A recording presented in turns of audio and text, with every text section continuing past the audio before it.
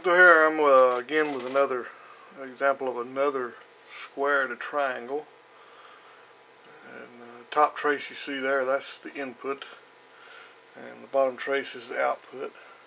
And I'm driving it with a Arduino Nano that's designed to put out um, square waves on the frequencies of your notes. So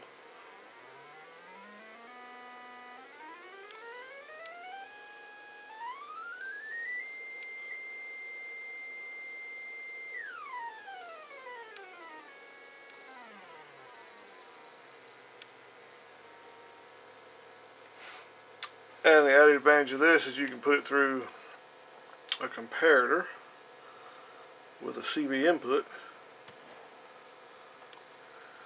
And that would be your bottom one now.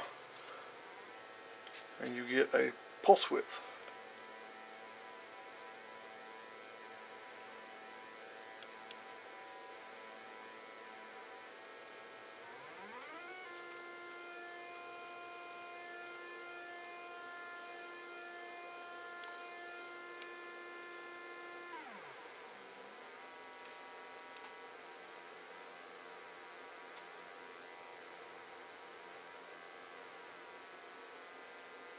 And I'll put a picture of the schematic in the video so you can have a look at it.